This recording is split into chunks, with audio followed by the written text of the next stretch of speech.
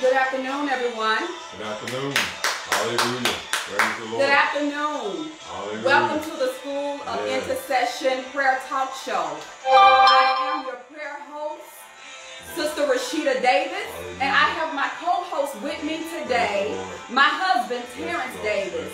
Today, we have a powerful topic for those who are married.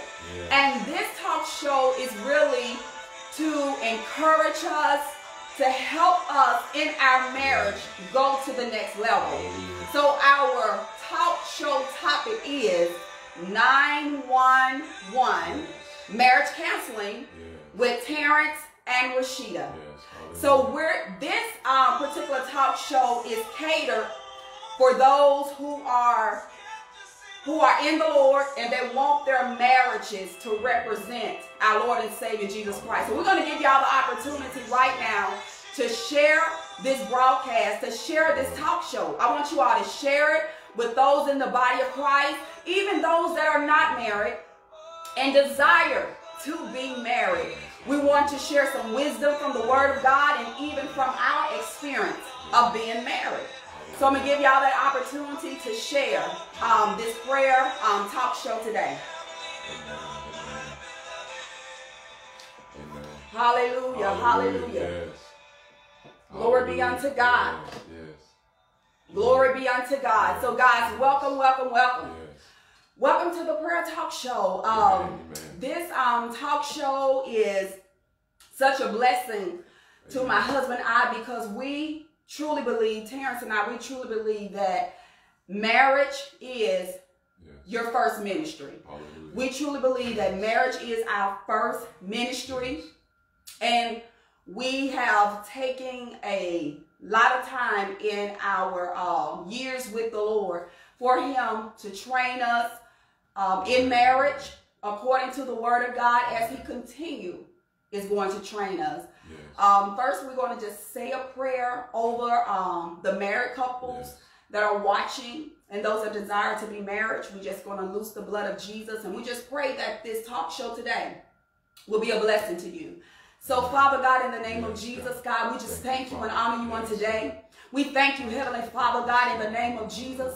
Father God, that when you created us, you were mindful of us. Father, you said to, oh God, Father God, it's not good for man to be alone. So, Father, you desired to make Adam a helper, oh God, in the earth realm.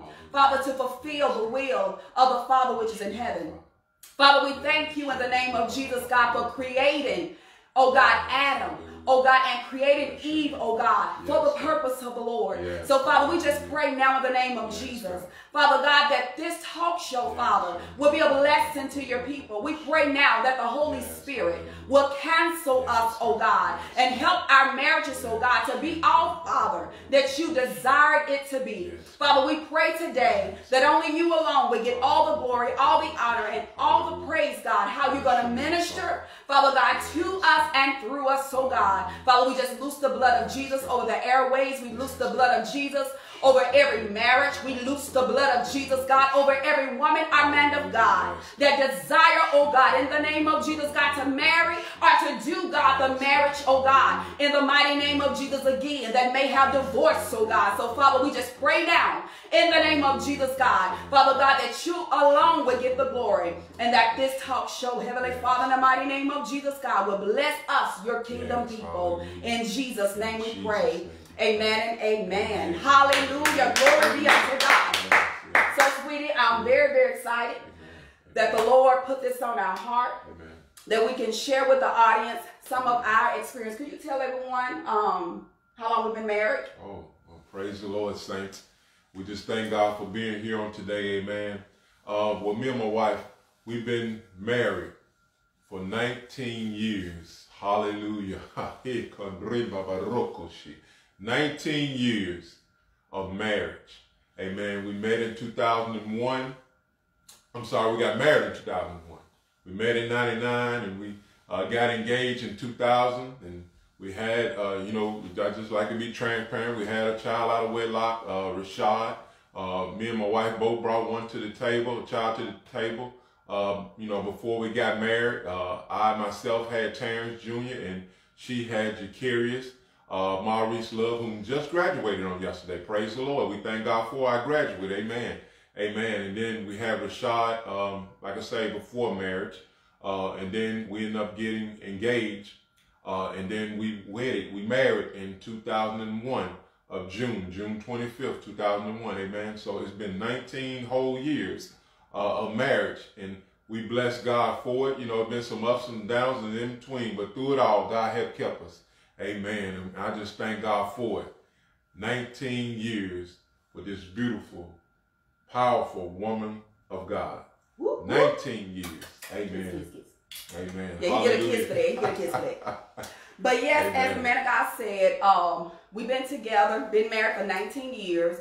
When we first met, we both was not saved. We met in college. We actually met in college and we met at a nightclub. Amen. Amen. So we met in a nightclub Amen. and this was a particular night that I didn't want to go out with my girlfriend and my sister and my husband to be that I didn't know at the time. He didn't want to go to the club. Amen. But some kind of way, um, our friends pulled us together and we end up going to the club. I don't know how far Shaw, Mississippi is from Greenwood. Uh, ooh.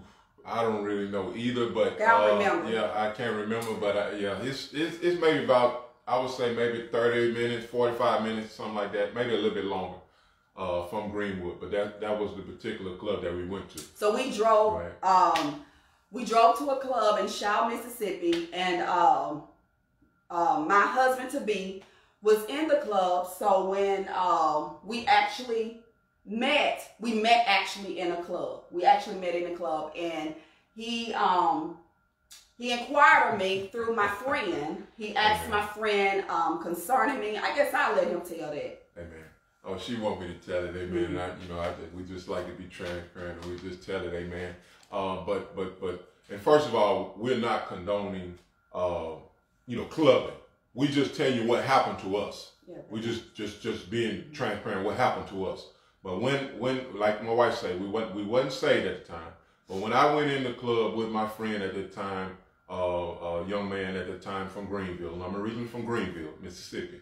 Uh, but he wanted to go out that night. I didn't want to go. I wanted to stay at home, just just wanted to stay home. But anyway, with that said, uh, as I went into the, the club, I saw this beautiful young lady, and I laid eyes on her. But at the minute, the moment I saw her, I knew, I told my friend, I said, this is the one right here. Now, I can't explain it, but I'm reminded of the word of God said, when a man finds a wife, he finds a good thing that attains favor. She attained favor from the Lord. So immediately, and like I said, I can't explain just going on what I can share with you. I knew that this was my wife. And I went and uh, some young man was trying to talk to her at the time, but I stayed persistent. And so I went on and I shared uh, with her friend and asked, inquired about her and everything. And so with that said, um, we ended up talking uh, later on that night.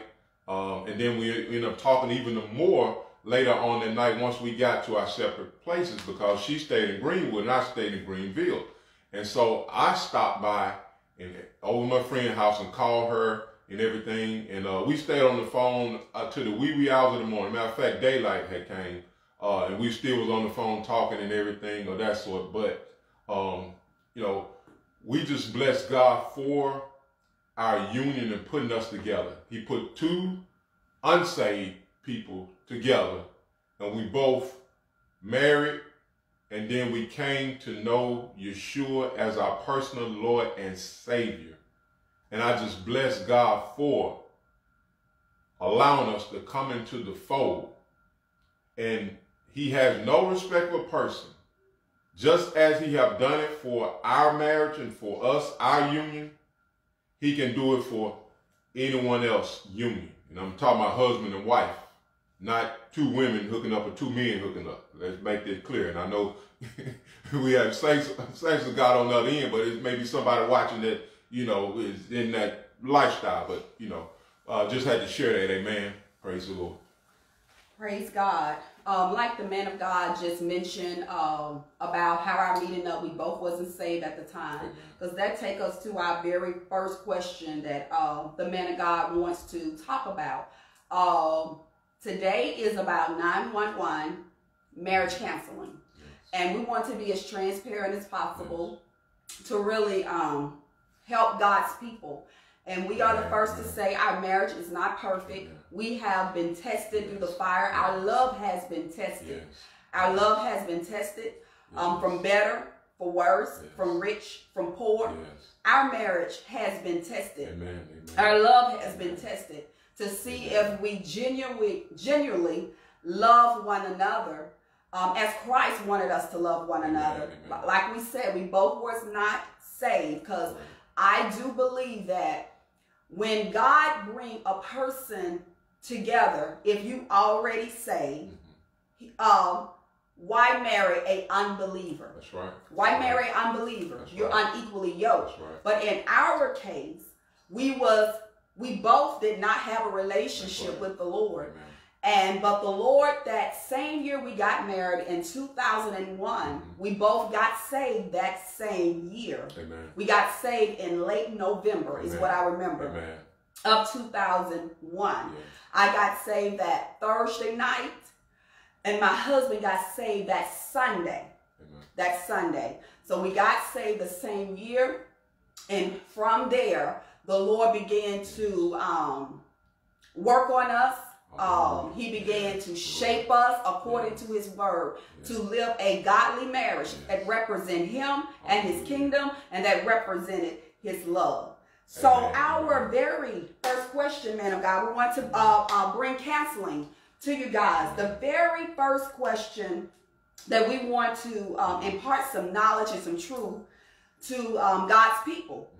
Um, the question is, man of God, I'm gonna ask my husband to to enlighten us on this. How, uh, what do you do if you are already married?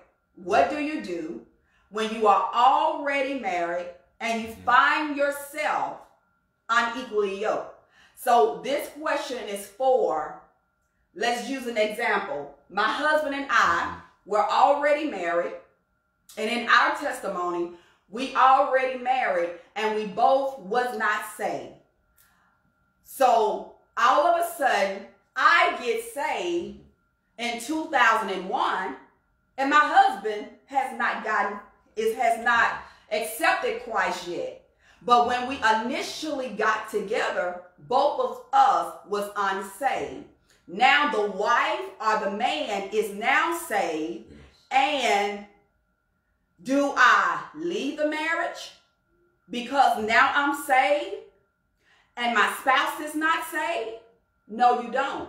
According to the word, we're going to take you to scripture. We're going to use a scripture to explain that, um, how God viewed that, because initially both of you all was uh, didn't have a relationship with God. Amen. Amen. So He's going to expound on that um, if you're already in a marriage and now one the husband is a man of god and the wife she has not given herself to the lord. Now all of a sudden she's not saved. I just want to get rid of her. And he has no other reason why. She hasn't cheated on him. There's no adultery. And he just want to i'm just tired. I'm just i just i want me a saved wife. You're gonna have to pray. You're gonna have to Right. birth that woman. Yes. Uh and Hallelujah. and into um salvation you got to do your job but i'm going to let him expound on that and we're gonna, we're gonna pray that this wisdom would help um help god's people Amen. Well, praise the Lord. Well, first of all, you may you may be in a situation, or a person who may be listening, maybe in a situation like my wife said, maybe in a situation where um, both of you all um, your your faith wasn't that strong um, from the start, or or when you all got married, or you may have grown. You may have grown to, I would say, you may have grown since, or both, or maybe both were strong, and he or she may have fell from the faith. So what do you do in, in a situation like that? Well, first let's let, let let's go to the Word of God. Um, the Word of God in, in 1 Corinthians 7 and 12. But to the real, the rest, I'm sorry, to the rest, speak I, not the Lord. If any brother had a wife that had believed not, and she be pleased to dwell with him, let him not put her away. And the woman which had an husband that believed not, and it he be pleased to dwell with her, let her not leave him. For the unbelieving husband is sanctified by the wife, and the unbelieving wife is sanctified by the husband. Else were your children unclean, but now are they holy. But if the unbelieving depart, let him depart. A brother or a sister is not under bondage in such cases, but God have called us to peace. For what knowest thou, O wife, whether thou shalt save the, thy husband, or how knowest thou, O man, whether thou shalt save their wife? Hallelujah. To God be the glory. Well, first of all, even in this situation, you may you may be listening, and it may be a man of God who is it, gave his life to the Lord now, and have and his wife had. You all wasn't saved at the time when you got you know came you, you joined you had union uh, and got married as me and my wife were we we which we just mentioned we both wasn't saved when we gave I mean when we came uh, got married but we both gave our life to the Lord but this this may be a man that may be listening and he gave his life unto the Lord since marriage, but his wife have not. The word of God said that if that wife, if your spouse, man of God, is willing to stay with you, don't depart from her. And vice versa. If a, a, a saved, born again, believing spouse, wife, you may be to give your life to the Lord and your husband uh, may not. Or say, for instance, if both of you all gave your life to the Lord, but now he done fell away or done fell from the faith. He need that strong woman of God. He want to stay with you. He need that strong woman of God to get in her prayer closet and vice versa. That unsaving wife need that strong man of God to get in their prayer closet and pray and pray and pray that spouse through and pray that spouse through that that, that spouse can become a born again believer and that he will pass or she will pass from death unto life. That's very important. That it is said that a sanctified husband can save his wife and vice versa. A sanctified wife can save her husband. And with that said, they can see the godly principles, the godly attributes in you and want to be won over. They will be won over by your character on how you treat them, how you love them, how you, you, you present yourself to them. That's powerful and that, that's very important uh, in a marriage. In a marriage. It's very, very important. We know some situations where um, a saved wife was, was, was saved, and husband out there, you know, on, on drugs and different things of that sort. And, you know, people say this, people say that you need to leave him and different things of that sort, but God haven't gave and given that, that, that person a release. And that person got in their prayer closet and prayed their husband through, and their husband came and, and became born again. Now, see, just imagine if she had a left, you know, uh, uh, uh, and he wanted to stay, but she wanted to leave, but he wanted to stay with her, and she wanted to leave. Just look at the situation. She prayed for him and interceded for him, and he came to know the Lord. And vice versa, it can be the same way with that man of God, praying your spouse, your wife through that she may come to know Yeshua and the pardon of her sin. That's, that's, that's very important. That's very important. But quickly, I'm gonna give you six six points, if, if I will. Well, first I'm gonna ask if my wife want to interject something. Um, you know, she says she don't want to interject something. Well, uh, first of all, I'm gonna give you six points that will help you if you find yourself unequally yoked And see, let me go back to this because you can come, and that's also too with two people that actually born again, or, or, you all come into a marriage and uh, you're not saved, then you give your life to the Lord. That husband don't really need to run off, and if that wife is willing to stay, and, and if you all are born again, that husband don't really need to run off and leave that wife behind spiritually. He need to be imparting into her, uh, uh, uh, you know, things of the spirit and, and, and, different things of that sort, and, and maybe books he read or, or knowledge or whatnot he read, uh, uh, sharing it even with his wife, you know, uh, and, and different things of that sort. So that's very important as, as well because, you know, you need to grow together and be as one. And that's very important uh, uh, in, a, in, a, in a marriage. I want to uh-huh. say something right there. Um, if you already in a marriage and both of you say one one individual is spiritually growing more than the other, I'm gonna use as he said as a husband. It will be wise if if you, man of God, will also want your wife to grow with you in part um, share share things, study the Word of God together. But one thing I do know, you can make exactly. that woman pick up that book and vice versa vice versa for a woman of God. She want her husband to grow. She want him to she has a strong prayer life, study life. Only thing she can do her part, she can share yeah what the Lord has given her. But I want you also to be careful that you do not try to force it. That's not love. You can be praying in the background and you can be praying, okay, God, um, please touch his heart. I'm going to ask him, can we do Bible study together? Because the key thing is, I want to grow together. I want us to grow in wisdom together. I want us to do scriptures about finances together. I don't want to have all of this revelation and he's lacking. Because, let me tell you this, because in marriage, there is no competition. That's right. That's There's right. absolutely no competitiveness, no competition. If I got a strong prayer life, I want my husband to have a strong prayer life.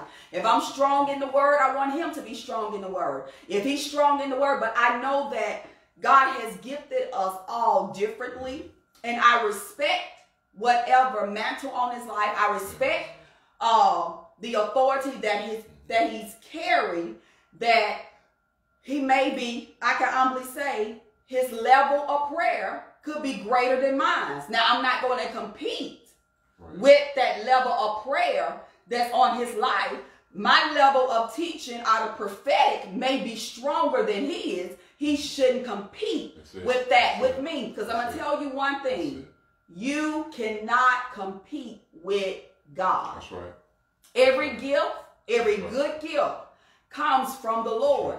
Your purpose of coming together is so we can grow together. So I just wanted to say something right there because I don't want somebody to say, well, see, you need to be studying with me and you need, I don't want it right. to come out it. in a very um,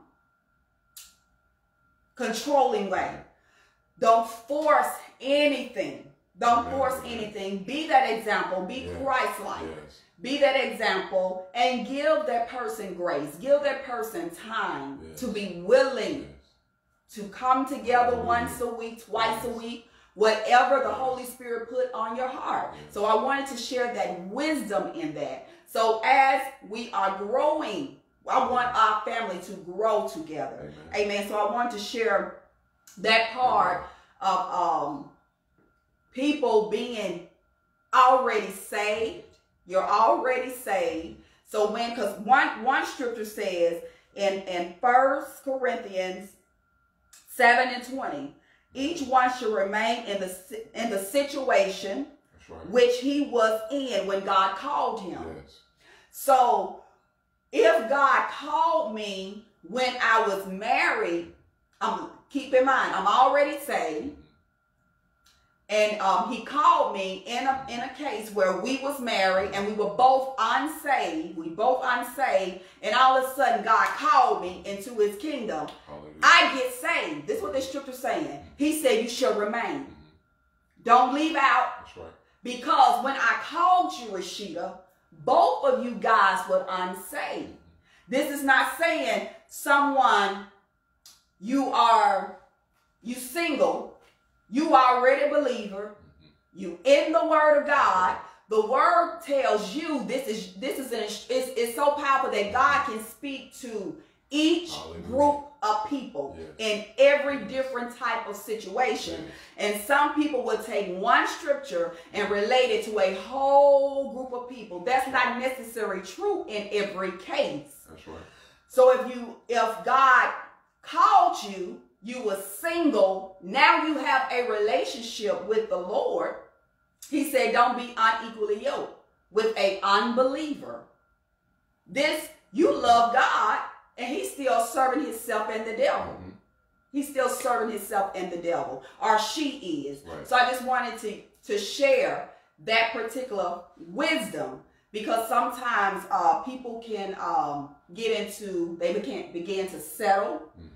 And they can begin well this person got potential he doesn't love god yet but i believe if i do this i do that so i just wanted to share that wisdom Amen. And and that's good. Thank you, wife, for that.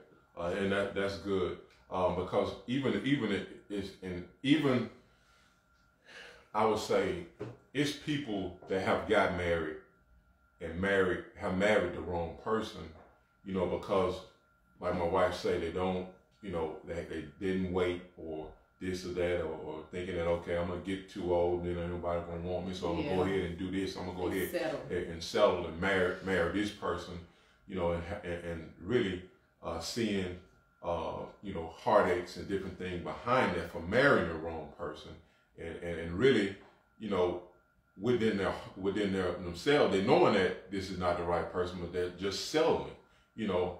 But um, with that said, those you you you have to be careful with that. Those of you that may be watching that is thinking about getting married. I know we're talking to the married people, but I just wanted to throw that out there as well. Make sure you wait, you wait, you wait, you wait on whom God has for you. And you know without a shadow of a doubt that this is the person that God has for you. Amen. But um, I like what my wife shared, and uh, she she was hitting it, you know, the nail on the head, uh, because one of the points I wanted to to share about that is if or when a person is in a relationship or in a marriage where it's unequally uh, uh, uh, yoked, one, you need to respect his or her uh, decision. We can't control them, like my wife mentioned. We can't control them. We can't be the person, the Holy Spirit. we can't. They that's their choice if they don't, you know, want God right now. You can't make them. You can't force them. Uh, and it, prime example, and, and and I'm sure that my wife don't mind. I don't. She don't mind me sharing this. Uh, when we like to be transparent.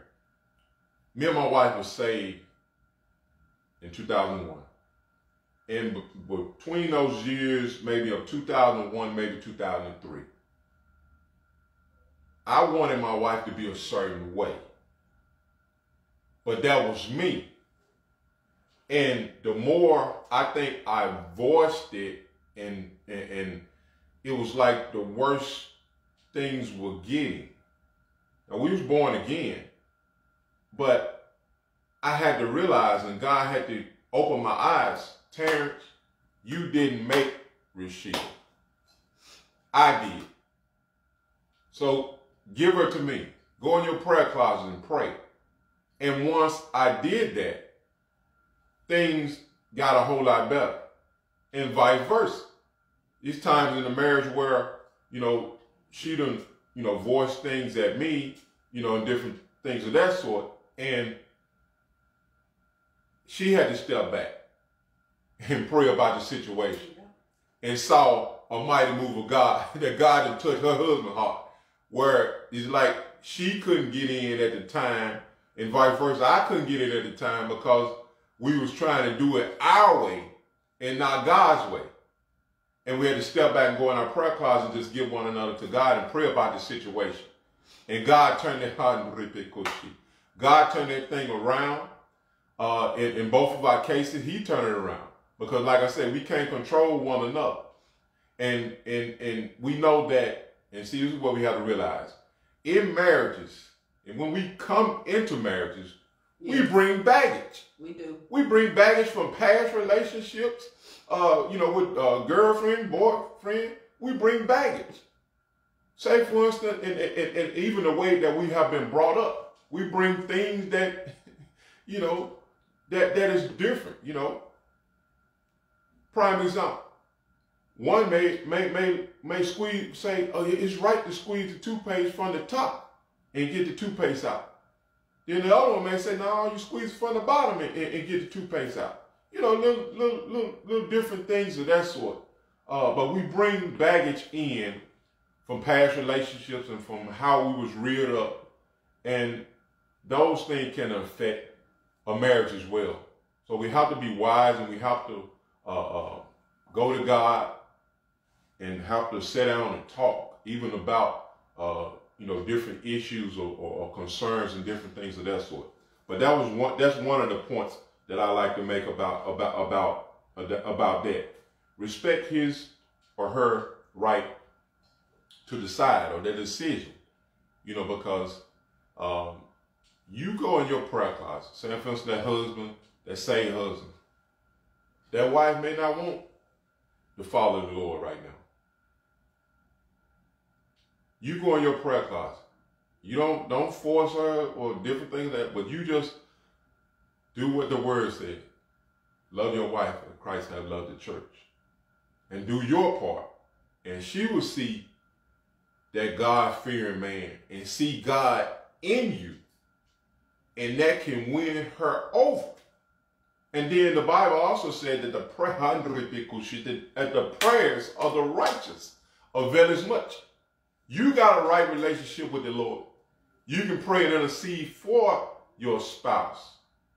And she will come, little you know, you look around, she come to know the Lord in the pardon of her sin.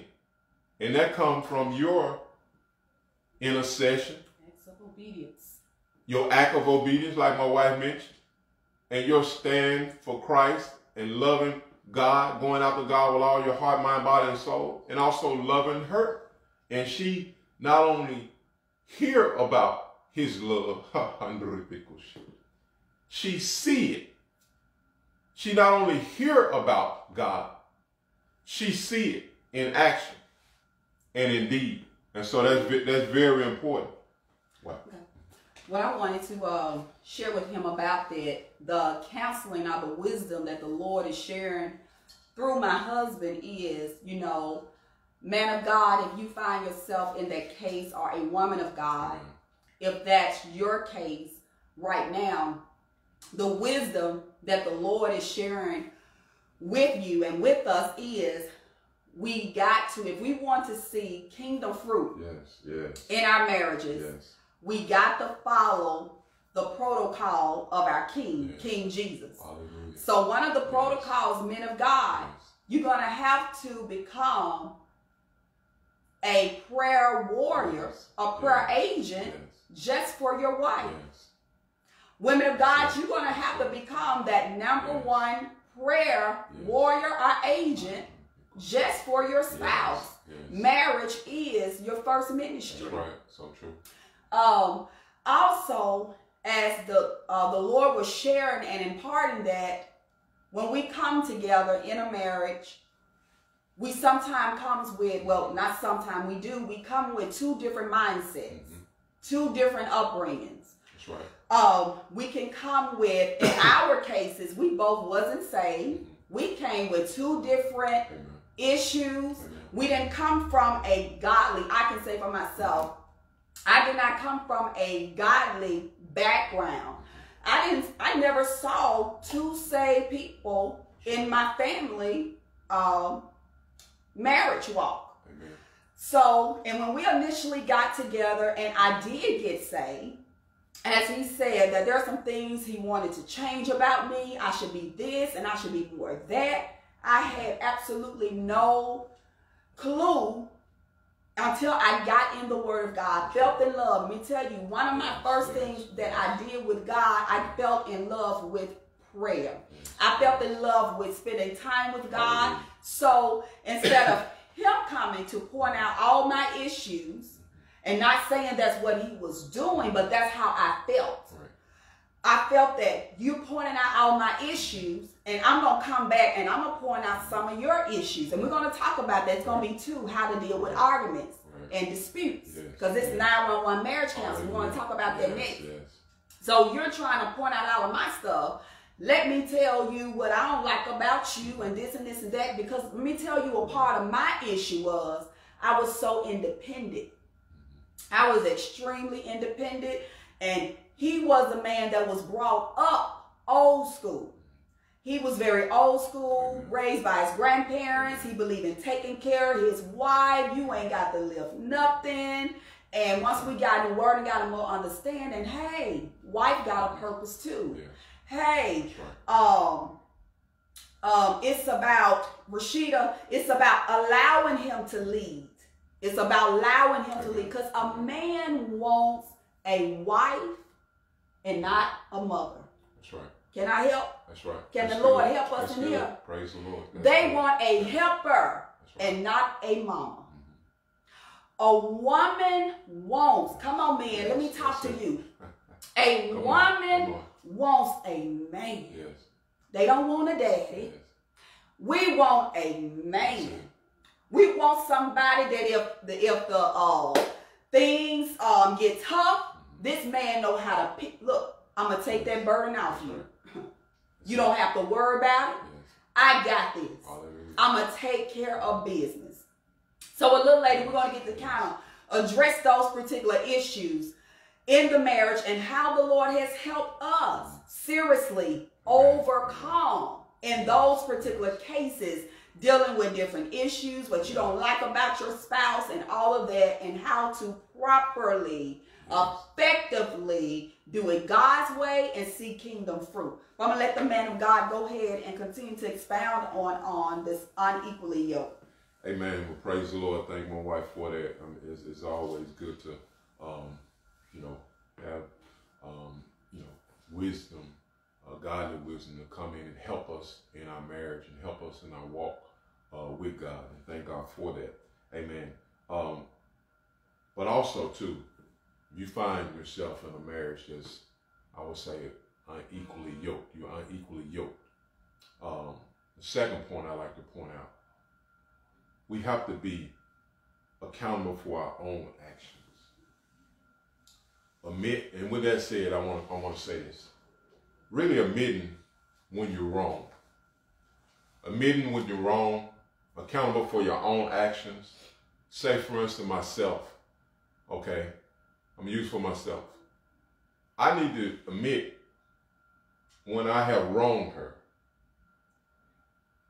and vice versa.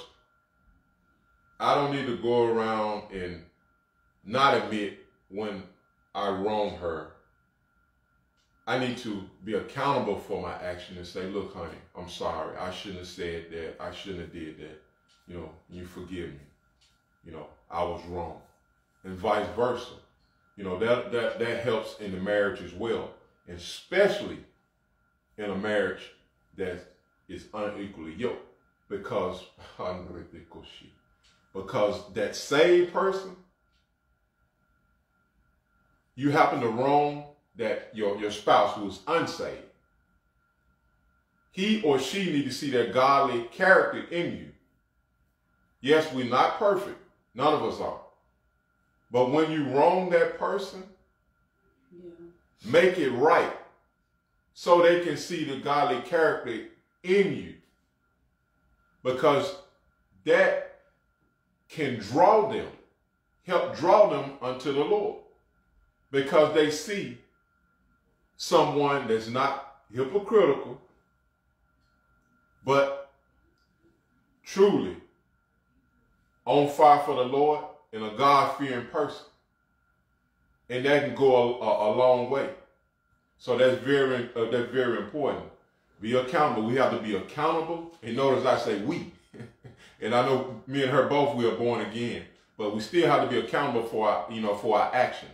You know, I don't need to uh, wrong her or say something wrong to her and, and, and, not get it right with her and then get up and, and, minister the word of God, you know, and vice versa.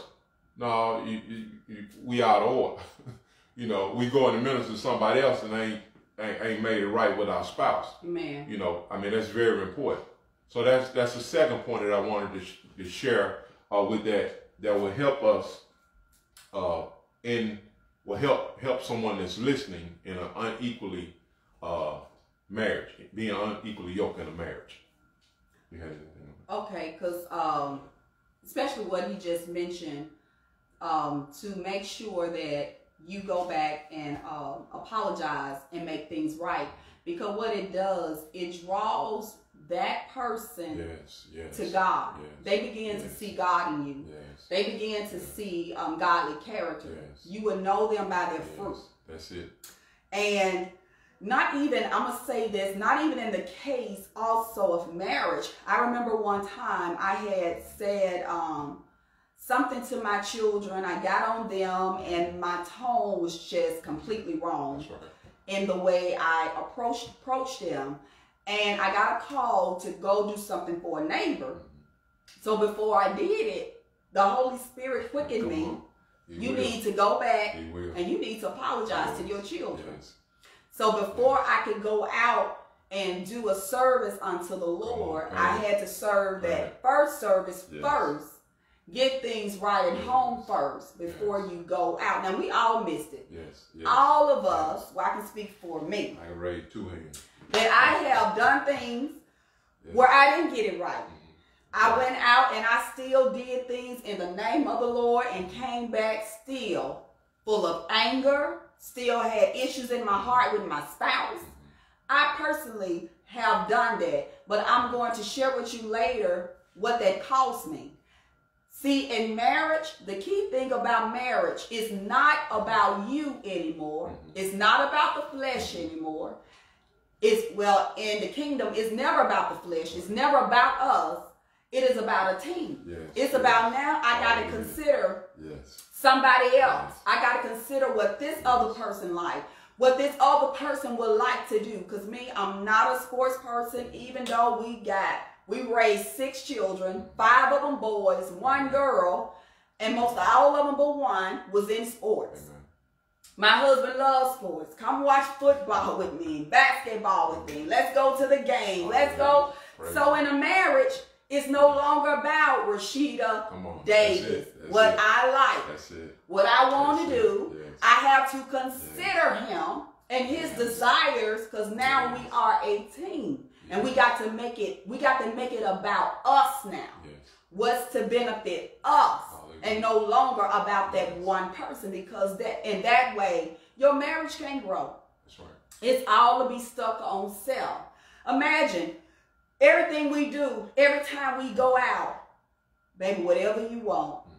And deep down, you want to do something right. that I don't want to do. Mm-hmm.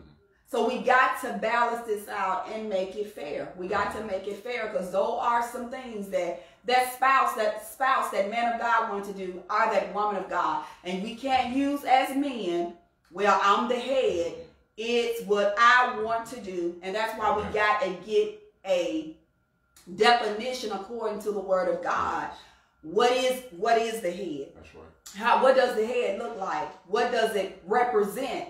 Because we could be pro- programmed by the worldly system or a mindset that you was brought up to believe, which is really a lie. And that is bringing more trauma to your marriage instead of bringing healing and restoration and life. So instead of your wife or your husband growing, is is constantly bringing more depression and stress because the marriage is not being lined up to the word of God or sometimes we, including women and men of God, can use scriptures to try to manipulate Right. one another. And sometimes that's done in ignorance because you know no better. You haven't set, sat time in the word to study to get a accurate understanding for yourself. You just went by what somebody told you, uh, what what you heard somebody preached over the pulpit that was preaching out of their soulish realm, out of their hurt, Yeah. out of their emotions, and giving you an interpretation that does not line up with Holy Spirit, that does not completely line up with Holy Spirit. So I knew in my marriage, I wanted my marriage to bear fruit. So I got in the word myself to get an understanding what submission was, what submission was not. All those scriptures, not so much relating to him. Right. I was going to trust God to deal with Terence. Yes. But I wanted to know what was my role as a wife. And God, I need you to give me understanding so I can learn how to implement it and walk in it. So that's what I wanted to share in that part of it. Amen. Praise the Lord. Like I say, thank God for the insight. Amen. Amen. Truly a blessing. Truly a blessing. Um, but I'm gonna move right along. I wanted, I wanted to, um, and that's good that my wife, um, you know, said that as well because uh, Galatians five and twenty two, you know, talks about uh, the fruits of the spirit. And going on with that said, when I was talking about um, be accountable for our own action, see, our spouse, that unbelieving spouse, need to see in that saved she need to see in that saved spouse the fruits of the spirit. You know, see that love, you know, see, you know, all of the fruits of the spirit and see the godly character in you. And that's that's very important. But the third point I wanted to point out, um, seek to understand. I think even in, in, in, in a marriage that's that's unequally yoked, I think that person need to seek to understand their spouse that is not born again, whether it's that that that man or whether it's that woman, because seeking to understand, because you need to find out what he believe, he or she believe, what they don't believe, what who they uh, believe in, and you know all this all this makes makes I mean need to need to come. You need to sit and talk about this and discuss this, and even with discussing this and finding out what that person believe and what he don't believe, you can take that now and you have something to go on. You can take that now and go in your prayer closet and pray even concerning that, or you know as the Lord lead, and if that that that unbelieving uh, uh, uh, uh, spouse uh, is open, you can share with them through the Word of God. You know, concerning uh, uh, what they believe or what they don't believe in, in different things of that sort. And that's a way that can help you also in your marriage if it's unequally yoked in that matter. Amen. And, and again, guys, because those that were just tuning in, when, when he's talking about unequally yoked, he this is counseling for people that when God first called Yes, you, you was already married. Yes. You was already ma- married. Both of y'all probably was both two sinners, and then one end up getting saved, and the other person is not saved. Right. What? How? What does that marriage look like? Um, how does I, as a saved spouse, can be able to um, live a life in that marriage that please please God, and also draw my spouse into the kingdom of God, because that's the ultimate Hallelujah. goal. One thing that he said about that that I wanted to share, he said, seek to understand that person and find out what they believe in. What the Lord was giving the man of God speaking through him, this is a strategy. This could be strategy for you Yes. in prayer. Yes. This God can give you a strategy. Okay, what I'm trying to see what it is that is hindering on. My come on, husband Come on. from saying yes to Jesus. That's good. that is hindering my wife from saying yes to Jesus. Yes. I am trying to find a strategy to come against the gates of hell. It's almost like doing a a um a spiritual uh, mapping in their bloodline. Amen. They probably were raised up the mama was Jehovah Witness and the daddy served some other religion, and this your spouse could be really confused. Right. So once you kind of sit and you have those uh, type of conversations, um, and, and, and keep in mind, say you may say, well, my spouse is not gonna open up to me about that. Right. You know, I tried that, that didn't work. Don't give up on God. Go in prayer. God will open up a door where a relative in his family that is saved gonna sit down and tell you everything. Yes. Hey, this is what's going on. This is why your husband function the way he does. Your wife, this is why she think the way she does. Mm-hmm. And that will be information that God has opened up the door for you to propel against the gates of hell that this thing can break. And also, man of God says, seek to understand, which we're going to talk about um, a little bit when we get into different arguments. So, Amen. those could be ways that you could use that to come against the, the um, kingdom of darkness. Because remember, we're not fighting each other. Right. The fighting against flesh and blood. It's against these powers that stand in the way of that wife saying, Lord, I will obey. Because the purpose, I believe, the true purpose of marriage, people think worldly, is just so I could stop sinning, fornicating, um, having sex outside of marriage. Let's just don't get married so that can look right in the eyesight of the Lord. The true purpose of marriage, in my opinion, is so two people that God bring together that oh, no man could separate Yes. is for the purpose Yes. of doing kingdom work. Yes. It's for a greater That's purpose. it. That's It's it. for the kingdom. Yes. That when God purposely put me in my mother's womb in 1978, he purposely put Terence Davis Sr. in his mother's womb in 1975. God had a purpose in those three year span for us to meet in 19, was it 99? 99. in 1999. It was all a set of purpose so we could be sitting here with you today to do the work of the. Lord. That's it. It's to do his work. It's to do his business. But even in that, he is still perfecting us in Yes. Christ because we still have not arrived. We still don't have everything together about marriage. We still don't have everything together about family. We still don't have everything together. He's still perfecting Yes, us. yes. So we understand our purpose of becoming one is for Jesus Christ. So Hallelujah. we have to make Amen. sure Amen. even when we get into these different arguments, which, which we're going to talk about, he hit a key point. Seek to understand. Wait a minute. That's it. Where this coming from? That's it. Devil, you about to, Right. you're, you're about to back all the way up because the Holy Ghost is about to arrest you.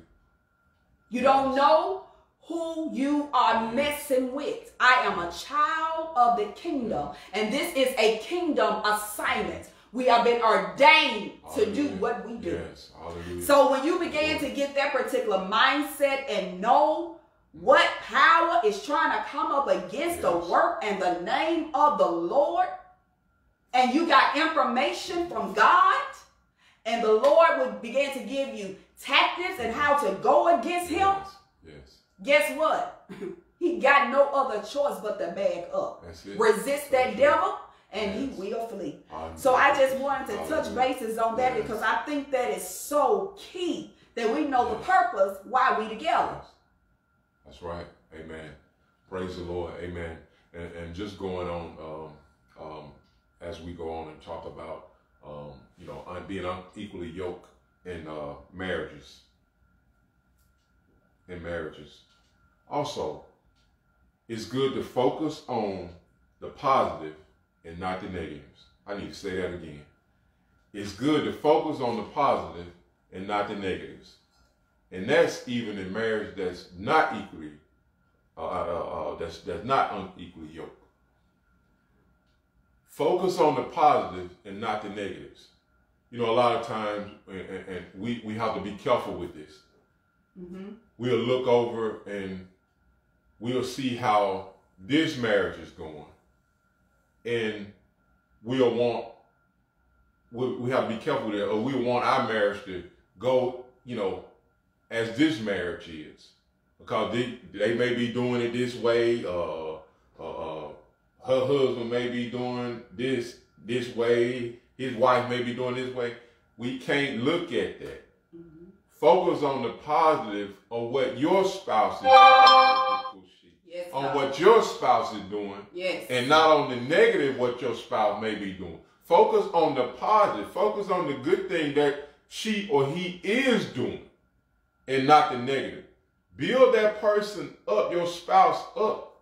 Say nice things to that to, to, to that spouse and not focus on the negative part. Oh, well, you you need and and, and, and hear me. Man, woman of God, you need to give your life to the Lord. Yes, that may be true. And that is true. You need to give his, he or she need to give their life to the Lord. But if you saying it, if you saying it in the wrong spirit, in the wrong attitude, is that right? No. That person, that unbelieving spouse, won't won't receive it. You have to be done in love and, and you know genuine love. You know we can't force it on them. You know a different thing of that sort. We have to uh, just display godly character before them. Amen. Can I jump in? Yeah, jump in. I want to jump in right there.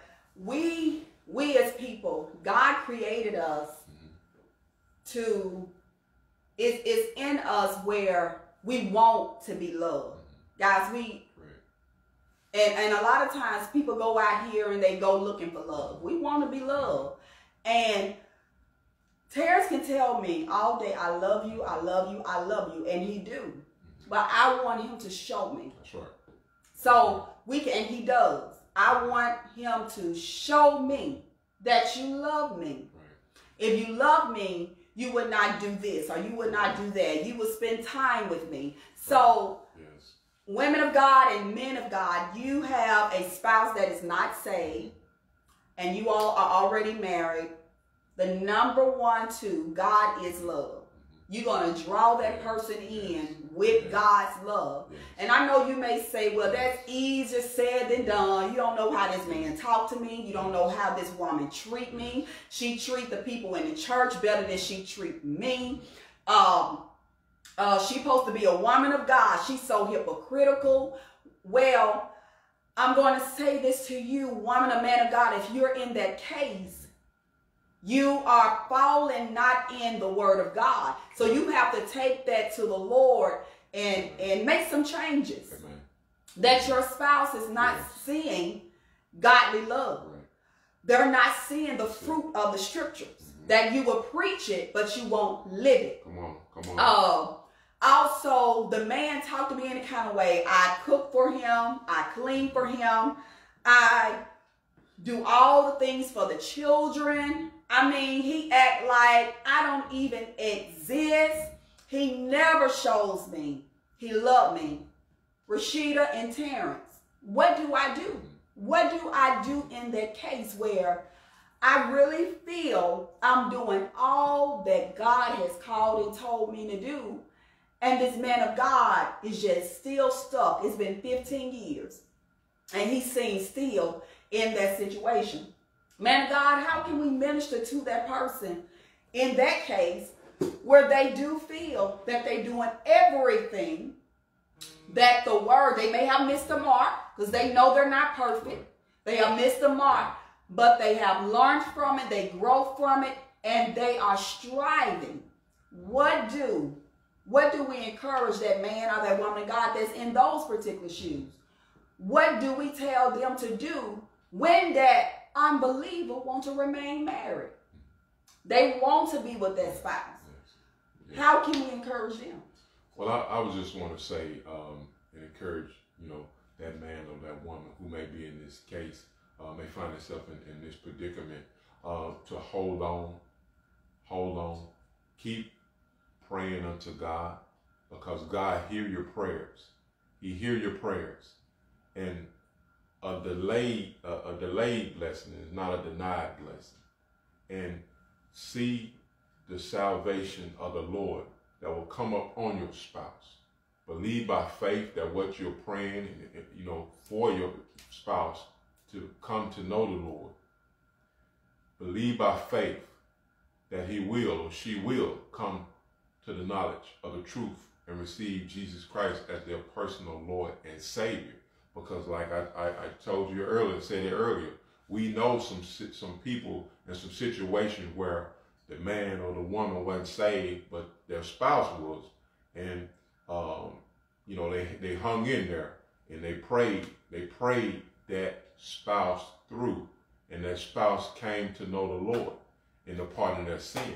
And I think it was one man of God, and I can't quite remember his name, or probably won't say his name, but um, I, I, remember hearing the story. I don't know why I'm sharing this, but but I'm just just gonna share it.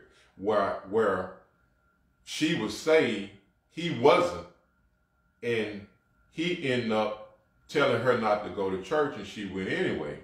And he ended up, I think, locking her out of the home and she slept on the porch that particular night. And when, she, when he got up and saw her still on the porch, after he had let his wife sleep slept out there all alone at night. She got up, went in there and cooked him the best breakfast that he could ever eat. Was displaying godly character, that love, he ate that breakfast, according to what I heard. And he turned around. Hey, Shemorokoshi. He said, I want to know the God that you serve. Man. And she led him unto the Lord. Right then and there.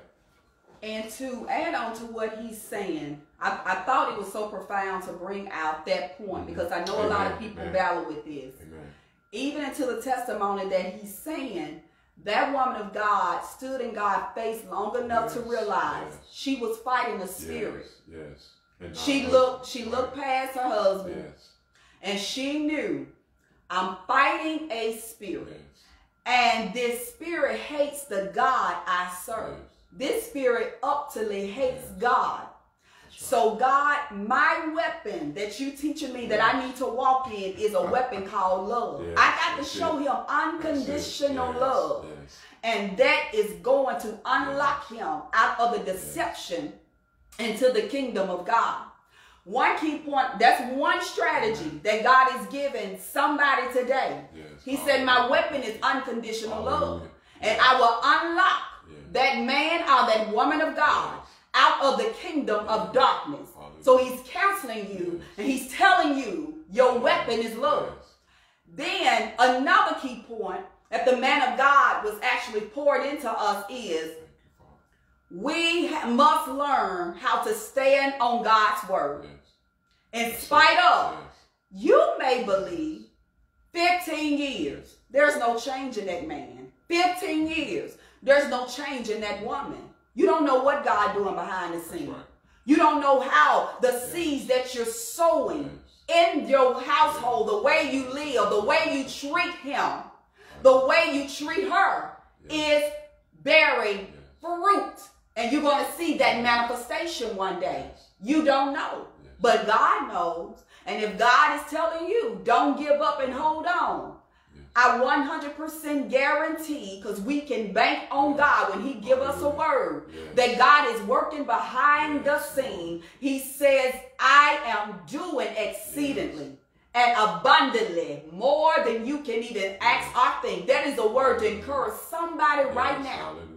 That's saying things, no, yes, it is changing. God is doing something Hallelujah. to break the power of hell off of your marriage. So I just wanted to yes. uh, release some strategies. Yes, the Lord wanted to release some strategies to help counsel you in your walk with the Lord. God is not a man that he shall lie. Then I'm going to tell you something else the man of God mentioned about. Guys, we can't be looking at Rasheda and Terence marriage. Right. You can't be looking at the pastor right. and the wife marriage and your cousin marriage. You go to a family reunion. You you see how he was holding um, um cousin Niecy. and That's right. we looking at all these other avenues instead of looking up to God and having a discussion with God and how He wants your marriage to be. Well, um, for her 40th birthday, her 50th birthday, her husband bought her a Mercedes Benz. Where mine's it? When mine coming? You see, cousin Niecy got a a, a, a 4 4K diamond ring. All this comparison, all of this competition. Yes. And you don't know. You maybe don't know. Every time cousin Niecy shows something on Facebook, she got a house room of flowers all on Facebook. Oh, next week the husband done bought this in the house.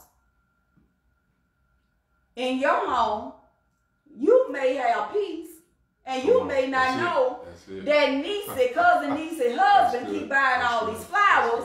That's his way of apologizing because he keep on stepping out on her. He keep on doing certain things. You don't know the details. Right. So you can't be moved by what you see on social right. media. You can't be moved what you see in somebody else's household. Now, if a cousin Niecy, for an example, their marriage is truly blessed like that, you don't know the cost they have gone through, and now they're seeing the fruit of their labor. There's there's nothing to get jealous or to hang on what your husband or your wife should be doing. That's something to kind of encourage you. Wow, we're gonna get there one day. Wow, that's a blessing. Wow, I'm just so grateful. Maybe that's someone that can probably mentor you, Yes. not someone you compare to or use as a weapon to tear each other down. No woman wants to be compared to another woman. Man, that's a no-no. That's right.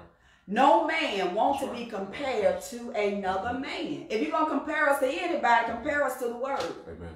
Yes. What does the Yes. word say? Hallelujah.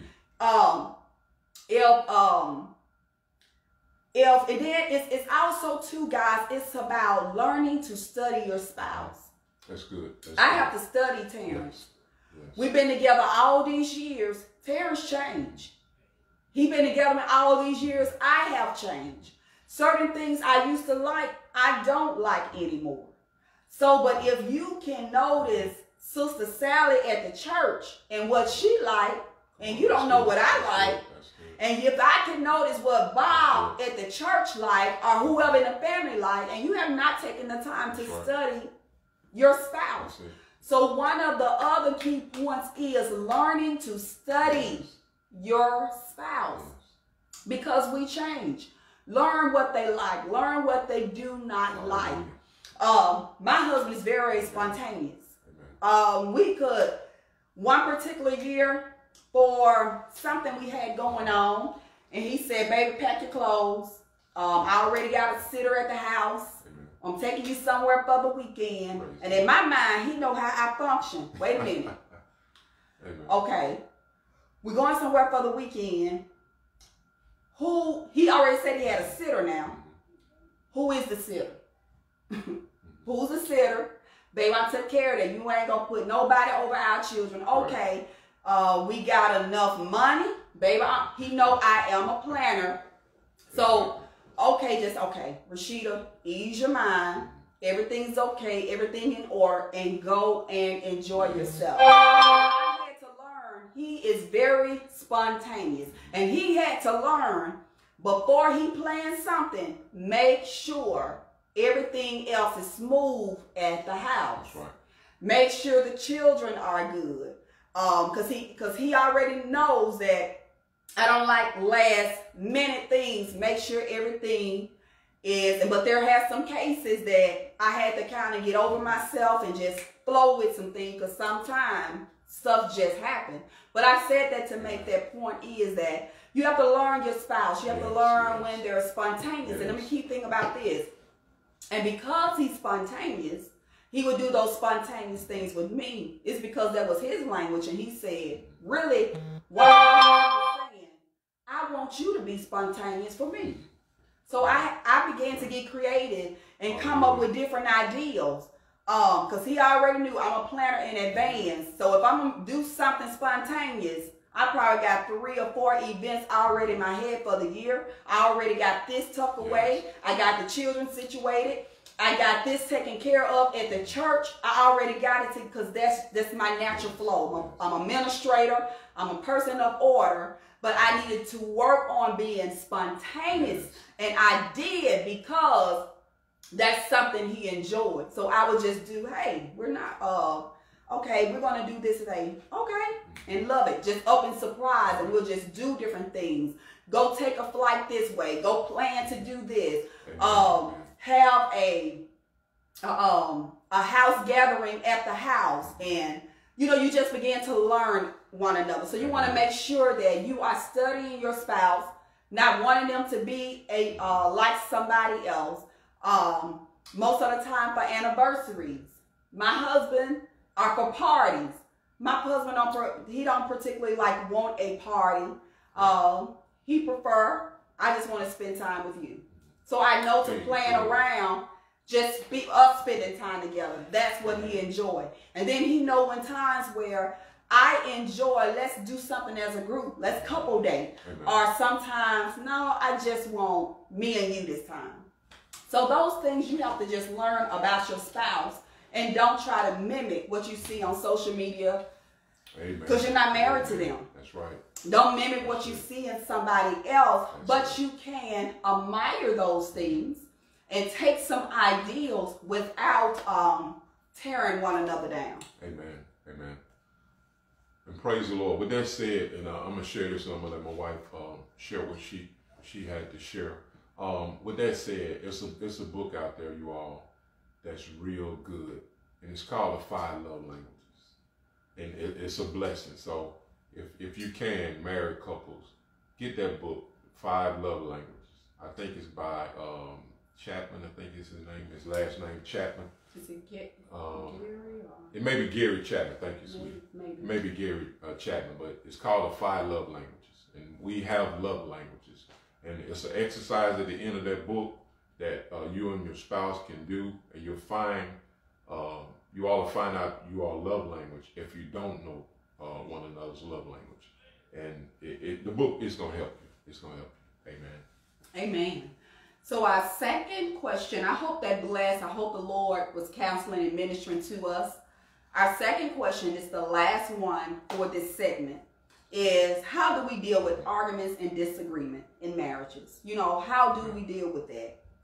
Um, the number one thing and how to deal with an argument or as a disagreement, we all must learn how to communicate yes. effectively. Yes. Sometimes when we have an argument or a disagreement, we can make it worse because of how we um, coming back and forth. Well, he doesn't like something I did or something I said, then I get this tone back with him and we go back and forth, back and forth, back and forth. Okay. Until it come to a point where where the Bible said, don't let the sun go down while you're angry, and we don't let the sun go down almost two weeks, almost three days, almost um, two months. And, and two, you know, uh, and I know you all can attest to this. Believe it or not, there's so many married couples because they have suppressed their anger. When something do happen with a spouse about something again, it could be something very minor.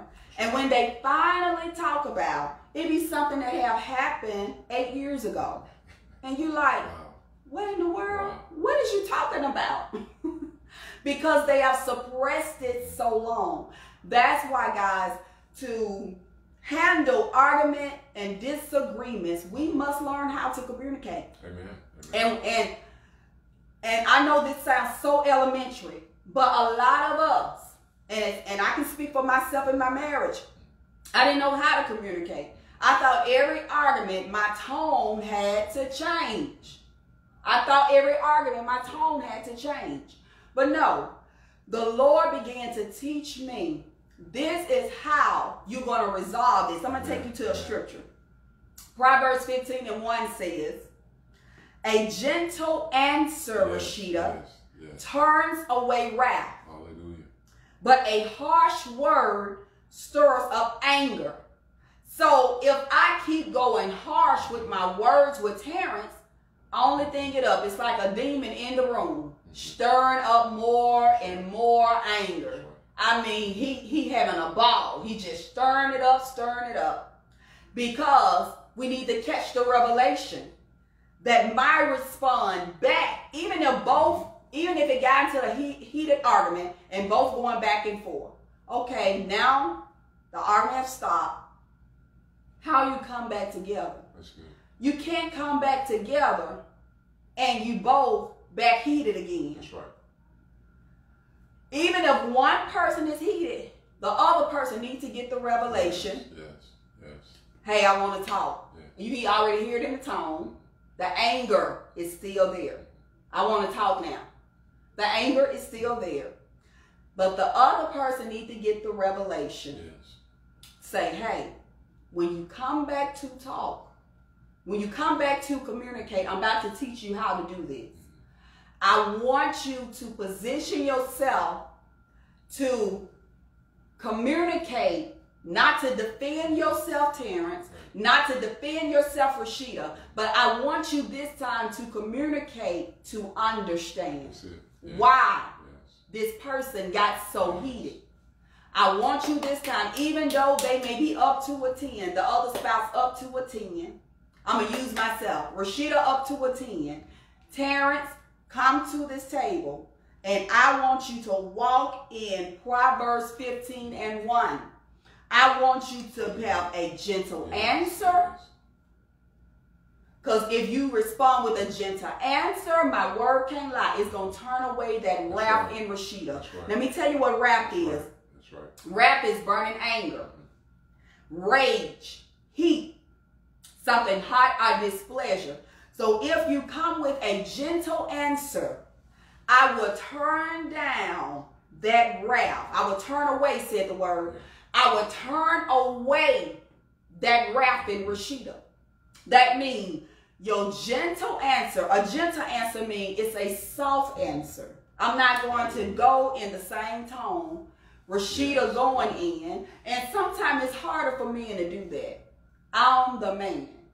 You ain't going to say this, you ain't going to say that. But we got to come in alignment with the word. That's right. We got to, and I'm going to tell you too, wives, it's not good to constantly talk to your husband like he's nothing, like he's a kid, like he's a child. Uh, life and death is in the power of the tongue.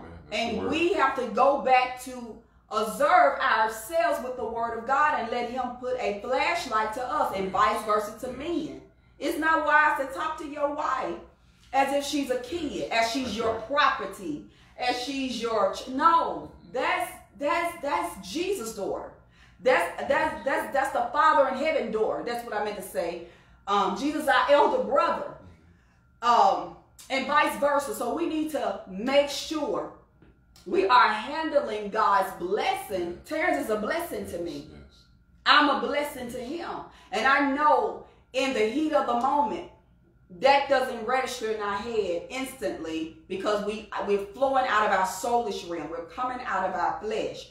But when it happens again, we have a disagreement. Here are some key points. Rasheda, Terence at 10, he said, Your respond, I need you to be gentle with him. And gentle means I want you to have a mild tone. I want your answer to be kind. Yes. I want your answer to be tender. I want you to give him a tender response and say, Sweetie, I understand. I understand why you got upset with me. And what happened when he was here and I'm here, he came all the way That's good. down That's good. because of I positioned myself to respond back to understand why he went here Hallelujah. That's good. And I position myself instead of defending myself. No, this is why I said what I said. Instead of taking that approach in the flesh in the soulish realm, I reposition myself where I'm going to understand what, what, what is going on with him. And then I'm going to answer him with a gentle response. And sometimes I'm going to tell you this, men and women of God, sometimes too, when we come to the table and we have a disagreement, sometimes when we come to that table, I want you to always come to seek to understand. So I'm coming to seek to understand stand something that hurt or offended Terence, and I'm coming to understand. Come on, come on. But also, whatever he was feeling, he could be totally wrong or had been confused about what really take place.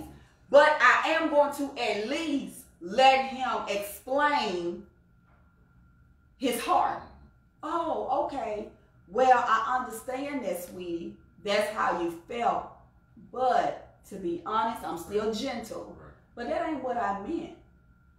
I didn't mean that like that. Can you um can you listen for a moment? I just want to explain to you really from my heart. This is how I meant this. I just believe the and we can say the enemy just got involved and just twisted my words or made you think something that you didn't, you know, that really happened. So sometimes that person could be, because one scripture says, be angry but sin not. You know, we, we got emotions. We're going to get angry. We're going to get angry. But he said, don't sin in your anger. Don't sin while you're angry.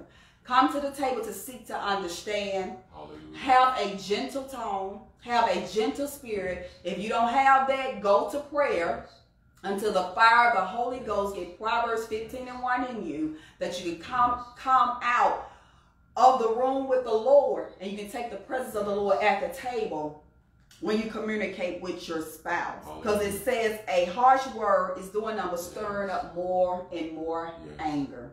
Anything you want to share on that? Praise the Lord. Um, yeah, because because when I, when I, as my wife was going, I was thinking about and um, um our, our spiritual father um, actually ministered a word one time, mishandling the things of God, and we have to be careful not to mishandle the things of God.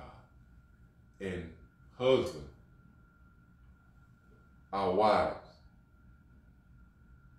our daughters of Zion. So we have to be careful and not mishandle them, you know, in any way. Yes. You know, verbally or any way, you know, physically anyway. Vice versa, as with the wives, you know, and, and their husband. We have to be careful with that and don't mishandle them in any type of way. Amen. Amen. I just wanted to uh, reiterate come in and share that. Yes, because we can mishandle one another with our words. Amen. We could even embarrass one another, even around family members. You at a family gathering, just certain things you just don't say um, to make your your spouse feel a certain way or to belittle them, make them feel dumb, make them feel stupid. You know, I have saw couple just say some things in front of us and in front of their family members, like, what's wrong? You know, what what is wrong? No judgmental right. towards them, because I can understand it's just their emotions. They're in their soulish realm, uh, the works of the flesh but repetitiously just constantly doing and doing and doing it and don't see that the hand of the enemy right. is constantly tearing you down. You're tearing one another down. So we have to be careful with our words in public and private. Amen, amen. we have to be careful with that. Amen. I thought you and with that okay. what, what i did. Okay. And with that said um, um, you know like my wife said because we have to be careful with that because and we have to recognize the enemy tricks and his schemes, you know, because even in that, he'll be sitting back like this, just sitting back laughing at what's going on, what's taking place. Because remember, he come to steal, kill, and destroy. He want to destroy that marriage, you know, destroy that union, you know, want to take your witness, you know, you going all off with one another and different things of that sort, and especially if it's in front of somebody, you know, uh, you know, that'll steal your witness. Okay. Now people like, I thought, you know, they, you know, uh, men and women of God, they going at one another like the Hatfields and the McCoys. you know, so we have to be careful, uh, uh, you know, with that. Uh, and no, we're not perfect. You know, we're gonna have some, you know, disagreements and different things of that sort. But we have to be on guard and watch, you know, our tone, uh, uh you know, our conversation, or how we communicate uh, with our spouse. And so that's very important. I just wanted to share that. Yes, because um, what he's saying, I have learned to show people grace because I want grace. I see a couple that's highly anointed of God. They have a dispute. They just had a dispute. Right, exactly. God gonna get them through it. Right. So I don't um, try to hold no because I'm uh, I'm in the kingdom too. I know how marriage could be. So um, so I don't think it's pur- purposeful for other people to you know do that Right. to uh, people. Show them grace. Amen. Show them mercy. Because no marriage is perfect Amen. in the so- in the realm of the uh, the flesh flesh. Uh, no marriage is perfect. So I think we all need to just show one another grace Yes. Yes. uh, in those cases. Amen. The other scripture is Proverbs 19 and 11. It says, A person wisdom yields patience. It is to one's glory to overlook an offense. I'm going to read another version of Proverbs 19 and 11. A man's understanding makes him slow to anger. It is to his honor to forgive and forgets a wrong done to him. So Proverbs 19 and 11 is a word of um is a word of wisdom for us. That Terence and I have a disagreement. We go into an argument. The word tells us a man's understanding makes him slow to anger. Yes. Yes. So if we will both come to the table, not so much of looking, I need you to hear That's my point and get it. Come to the table Yes. with the mindset to be a woman that's coming to understand what just happened and how that made Terence feel. It'll cause me to be slow to anger. If I he come to the table with an understanding, um, to understand how that made me feel, it'll make him become slow to anger. Then the scripture said, It is to his honor to forgive and forget a wrong done to him. Another version said, Insightful people restrain their anger. Their glory is to ign- ignore an offense. So if I come to the table to gain insight, I'm not coming to the table to be judgmental, but I'm coming to gain insight why my spouse why that upset me, why that upset him, why he got so angry that at 12 o'clock midnight, I was still on Facebook. I was still Googling through the phone. Or I did something um, to hurt or offend him. If I come to that to communicate with him, I should come. I will be slow to anger if I come with understanding to understand. Well, baby, I feel like um, every time you look at the phone, I'm trying to spend some time with you. You're on Facebook, and y'all, that's a real live question point in marriages. Amen. Some married couples they feel that the spouse is giving more time to social media than to them, and in some other marriages that that's not even an issue for them. That's not an issue. So I say this: you cannot um run your home the way somebody else run their home That's because good. your spouse is different from my spouse and vice versa. You study one another so you can run your house effectively where God can still get the glory and keep all division out of the home. Amen. So we want to make sure we come to the table with insight to gain understanding and stop being so defensive. So defensive. I think you want to say Yeah, I, something. I wanted to say something on that. Um, and you mentioned about um, you know, about spending time, um, mm-hmm. you know, so much on social media or whatnot.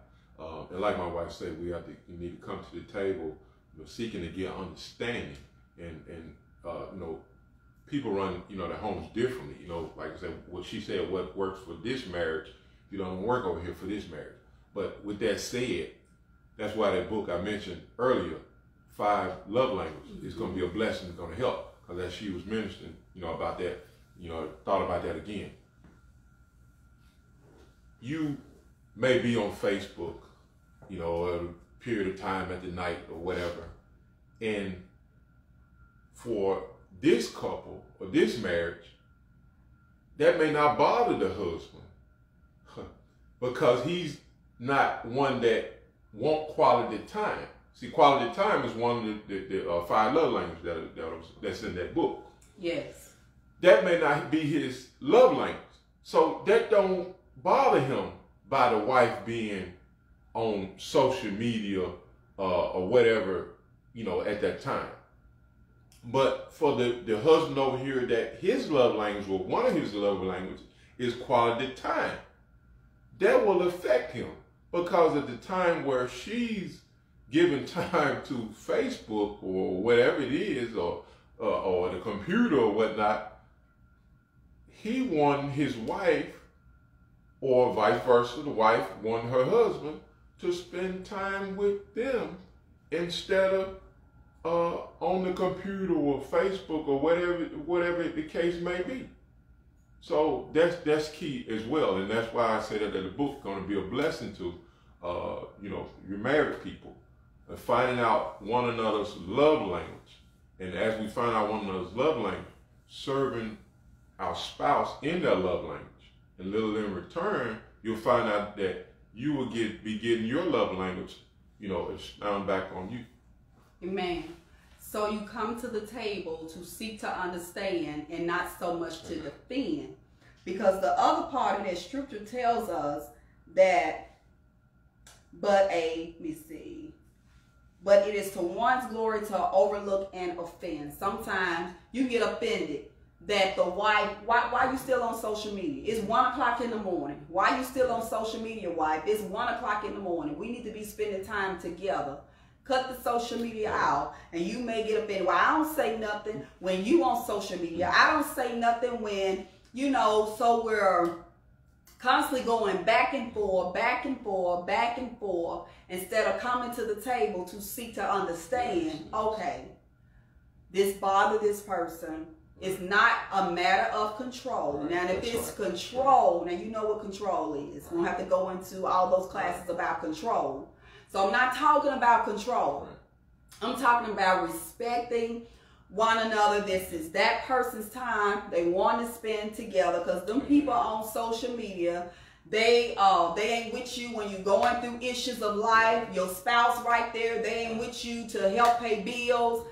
I need to focus on my home, on what God is building, and not let the enemy in to tear it down. So we got to be wise. So only thing I'm saying, be balanced. We got to learn to be balanced in every area. Because, for example, um, talking on the phone or doing this and this and that, that doesn't bother me personally. That's just me personally. But it may bother Terence. Well, this is time with me. Come on, watch this football game, and I'm on the phone because our language is different. Right. So that would that that particular thing would not bother me, but that would bother Terence. And then, for an example, I like um, service. I like my husband to help me out in the house. If I'm doing the laundry, sweeping, doing all this other stuff in the house, he's on the phone talking. I am stressed out Come on, help me because that's bothering me. But that take time. Show each other grace. Yes. Don't yes. don't embarrass the man. Don't embarrass the woman and take your business to social media. Um, telling all that such and such do and da this and that. That's not wisdom. That's not wisdom. Um, you you you you show that person grace and mercy and you later on you talk you you just you have a discussion with them hey i would like it better if you would kind of help out in this area or vice versa. Well, to God be the glory, my husband does that. He helps out, oh, to God be the glory in areas where I need help in my household. So that's a blessing. But I'm just I'm just throwing out different ideas and different points where we could look at if you're seeing that something that bothers your spouse. I want you to kind of reconsider that and try to make some adjustments to make your household run more better. Amen. So, uh, an offense, overlooked it, overlook it without seeking revenge and harboring Hallelujah. resentment. Hallelujah. So, God wants us to begin to overlook offense. You may, I may have got offended with Terence. He may have gotten offended with me. In some, y'all, some cases, some things we don't have to point out all the stuff he do wrong, right. all the stuff I do wrong. Right. We don't have to do that. Overlook. Yes. And when I when God is telling us to overlook, He's telling us to forgive it, yes. let it go. Don't That's harbor it. the resentment. Yes. Don't bring up the next thing that Rasheda do. Or Terence, the next thing that Terence do, and he come to me about something. Well, I remember three months ago, you didn't. Wait a minute, you didn't overlook that. You bringing back some three months ago. So we got to learn how to walk this out because that's what the enemy wants. The enemy wants to destroy what God is building. Amen. The enemy don't want you to forgive. He wants you to hold. Say, well, I'm gonna hold this memory right here, uh, because uh, I'm gonna need it. Because I know he's gonna come with something that I didn't did, but I make sure I'm gonna hold on to that. But God is telling us, overlook. Yes, yes. Don't let that resentment and that bitterness yes. build up because that's not going to make your um, marriage um, fruitful. That's right. Ephesians 4 26. In your anger, do not sin. Do not let the sun go down while you are angry. Mm-hmm. Angry, anger, I'm sorry, can destroy families, our relationships, and even lives.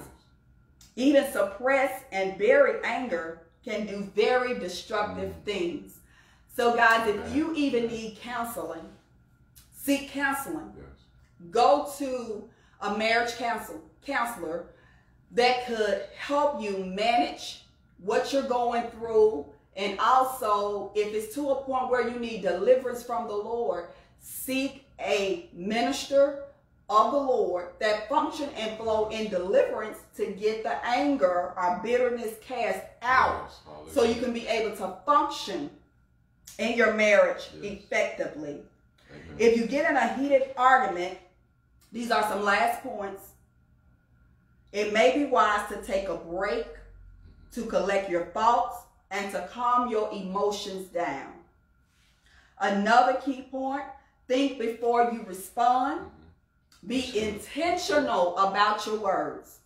One thing I can truly boast in God about my husband is my husband is very, he unsaid some things before, but it's very rare. Very rare. He's very intentional about his words. That he understands the scripture said there is life and death in the power of the tongue. So he become very intentional about his words when he is dealing with me, something that I have done, something that I didn't do right. He he has learned to be very intentional to think before he respond. I'm going, let me tell you about him. He gonna speak the truth to me. He gonna speak the truth. Vice versa. He ain't gonna sugarcoat it with me. He gonna speak the truth. And then there were times sometimes I have told him, Will you be my husband, not my apostle? You trying to be my apostle. But he is my apostle. And I have to understand sometimes you have to stand up in that particular mantle because he is dealing with a prophetess Amen. in the spirit realm. But I understand the mantle in him, but I submit to the God in him that's addressing the spirit that's trying to come up against what the Lord is saying. Amen. Amen. So you got to also see your spouse in the position that the Lord called them in and respect and honor the right. God right. of that of that uh, position, not them. The Lord, and say, you know what? This is the Lord correcting me. This is the Lord dealing with me. So Think before you respond. Be intentional about your words and speak the truth in love. Last scripture, James 1 19 through 20. My dear brothers and sisters, everyone should be quick to listen. Be quick That's good. to listen. Yes. Be a thoughtful listener in your marriage. Be quick to listen Yes. to your spouse. Yes. Listen to their heart. Be slow to speak. Rasheda, and slow to become what? Angry. He said, I want you to practice this. I need you to practice being slow to speak. I told you first, be what? Quick to listen. Your first thing you sit down and talk to your spouse, you got a dis- disagreement. Uh, let's, let's just use finances. Your finances. There's a disagreement. Be quick to listen. Mhm. Slow to speak. Mean think before you respond. Be intentional about your words. And slow to become angry. Amen. That means be, be, be slow to let your emotions take over. Hallelujah. It says, why? Because human anger does not produce the righteousness that God desires. Our soulish anger will not produce what God desires. In other words, that standard of behavior which He requires from us. There is a behavior that God requires from us when we are angry. Because He said, be angry, but sin not. So there is a standard that God requires from us even when we are angry. Because he said, uh, I don't want you to sin. Think. Yes. Think before you respond. And if you speak, Rasheda, if you speak Terence, I want you to speak the truth in love. Be intentional about your words. Yes. Anything you want to say before we end? Well, just wanted to um to share uh, this and, and, and we'll end. Um, husbands, talk to the priest of the home.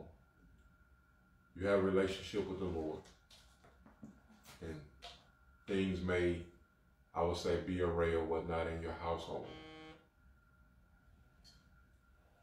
You can go in your prayer closet or wherever you pray and begin to pray and intercede um, for your spouse who may be upset at the time or whatnot. But you humble yourself and go and get in the face of God. And if you have wronged your your spouse in any way, make it right with her. But you have power and authority to go in and set the atmosphere in your home with prayer and intercession, and the, the climate in your home, and love on that wife. Show her the agape. Allow the agape to flow through you to her. Because women go through things, go through a lot. We as in men of God, as in priests, and I'm talking, I'm, I'm receiving this first and foremost. I'm here, uh, Lord helping all of us. But be sensitive to know when she need may need just that gentle embrace or shoulder to lean on, to cry on. Don't be so quick as dust thou be in this. Just learn how to hear her heart. Her heart may be bleeding and she just want to pour out. So I encourage us as men of God to be sensitive to the Spirit and know when and what our spouse need at the particular time. Amen. Amen. And to sum it up, um, I just want to speak to the women of God. You know, women of God, we carry a lot. We play many, many roles. Uh, we're not only wives, we are mothers. We're not uh, only mothers. We have to cook, we clean, we work jobs. Um, there's a lot of things that we go through. And I know at the end of the day, it's almost like with us women, sometimes we're so tired, we don't have anything more to give. But I want to encourage you, women, that God would not give us too much that we cannot bear. Right. And He would just not do that. So, women of God, I want to encourage you to continue to do what you do, but also learn also to release what's going on with you. Spend some time in prayer because God understands when nobody else understands. God understands your heart. He understands what you're going through. And pray that the Lord will open up your spouse. That your spouse will be that priest that you need. That that spouse will, okay, he will allow me to just share my heart and just cry and just and just uh, share the issues that's going on with me. And men of God, I want to encourage you.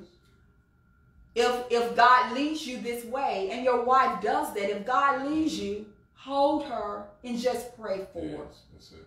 Just pray for her Yes. because that's what she needs. She needs that covering. She needs to know when I go out to that world and uh, face tomorrow, I have a priest that understands me. He gets me. And also, women, I want you to also make it a habit that we encourage our men of God. That's good. They go through a lot daily. They um, sacrifice a lot for their families. Um, there's a lot of un things that they're not recognized for on their jobs. They're not nobody recognized all the the things that they go through and what they do on the job. But it's good to come home and know my wife recognizes it. My wife uh, shows me. Sometimes I do for my husband. I have a just because day. Amen. Just because Amen. you do what you do for us Amen. he can come home be surprised and i know that it is not women it's not um traditional to send flowers to a man but one year i did that i sent it to him on his job and that's not traditional versus you see that with men do that for their wives but i'm i'm just non-traditional I do things that other people probably wouldn't do. They'll say that that's something you should have not done, but I'm just non-traditional. And I learned to go through, to move my life and, and move in the vein of my marriage in a way that will please God and that pleases my husband. Because that's who I need to please at the end of the day. And when um, he got the flowers at work, what did your coworker say? You get you told me something that they said.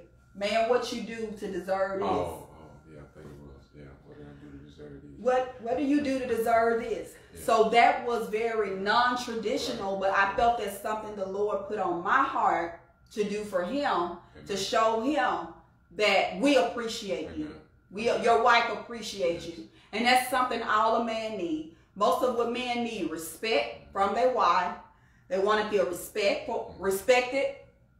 They want to feel appreciated. And they want us to build them up. So we just truly, truly pray that this um 911 marriage counseling has truly been a blessing to you guys. It has been a blessing to us. Yes, We yes. are forever, forever in the school of the Holy Ghost. He's Yes. constantly correcting us and helping us to be a better uh, wife, be a better husband, be better parents to our family. And we are serious about making um, making marriage a priority, not just ministering to you guys That's right.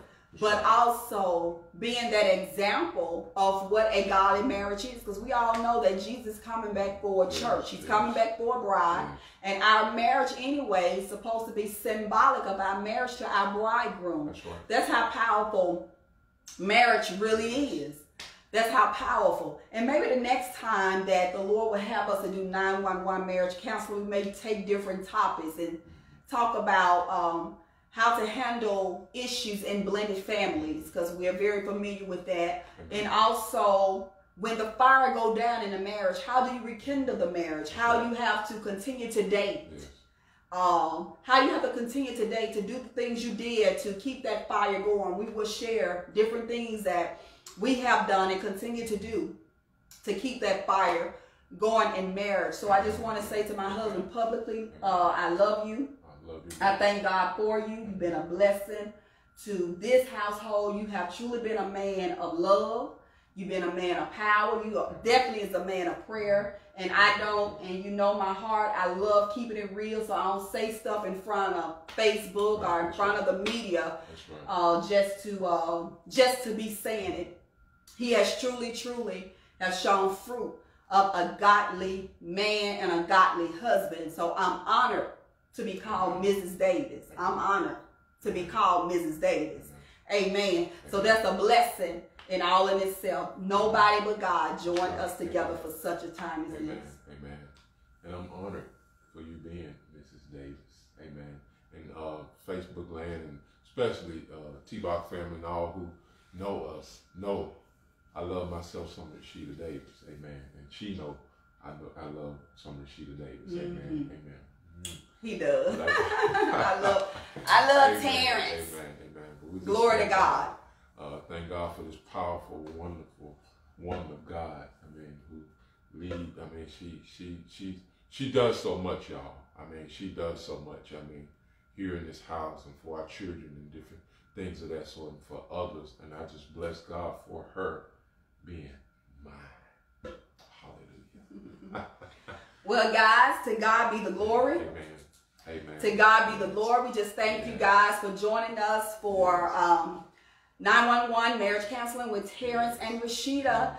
And until next time, we'll see you guys um, again for the Prayer Talk Show. We pray that this has truly been a blessing to you. And we just pray that the next time we meet uh, for the marriage, that we can go in a little bit deeper. But until then, please take those points about unequally yoked sections and also in how to communicate when we're uh, when we are angry. The next talk show will be December the 13th. I will have back on the show Evangelist Denise Fair, and we will continue our series with the singles. Also, I'm looking forward to end the series with the singles. Singles, I'm looking to bring two men of God on the show, and they're going to talk to the singles a life, a lifestyle, and how to live single as being holy men. I think that session as well is going to be tremendous, powerful. Um, we will be back in our building for the next service, which will be the first Sunday in December at 2 p.m. Central. So we hope to see you all back in the building at that time. And again, we love you guys. We're honored that the Lord called us and joined us as one. And we just lose blessings over you now. And we just speak and decree and declare that your marriages will be blessed. Can you end us in prayer? Father, in the name that is above every name, Jesus Christ. Daddy, we just thank you, oh God, even now. We thank you for what you have already spoken, O God, O God, to your people, O God, on this day. And Father, we just ask even now that you that you that you will bless the marriages, oh God. Oh God, that have been receptive, O God, of this message in the mighty and majestic name of Jesus. Father, we just thank you now. We give you the praise, we give you the glory, we give you the honor whom which is due, because it's due unto you in the mighty and the majestic name of Jesus. Touch that husband, touch that wife, oh God. Harima babarukushi, harima babarukushi. Help them to grow, oh God, together in you, oh God, in the Lord, in the name that is above every name, Jesus the Christ. And Daddy, we'll be careful to give our name the praise, the glory, and all the honor because it belongs unto you in the mighty and majestic name of Jesus. We rebuke, oh God, every assignment of the enemy, over every assignment from hell, oh God, trying to destroy, oh God, marriages, oh God, that you have put together, oh God. Harima babarima barukoshi, haruma barukoshi. We apply the blood, the blood of the Lamb, Jesus the Christ, against it now in the name that is above every name, Jesus the Christ. And we cover, oh God, our marriages, oh God, in the precious blood of the Lamb, Jesus the Christ. And Father, we thank you now. We give you the praise. We give you the glory. We give you the honor, whom which is due, because it's due unto you in the mighty and majestic name of Jesus. Breathe on us, Abba. Breathe on our marriage, oh God. and make our marriage and set our marriage on fire. Yes, God. Oh God, and set us on fire for you. In the mighty, the majestic name of Jesus the Christ, we pray. And we consider it already done. In Yeshua's name we pray. Amen and amen. Thank you, Abba. Thank you, Abba. Hallelujah. Yes. Thank you, Father. We see y'all the next talk show, December the 13th. Bless you. Hallelujah. Yes. Yes. Not leaning on money, not leaning on popularity.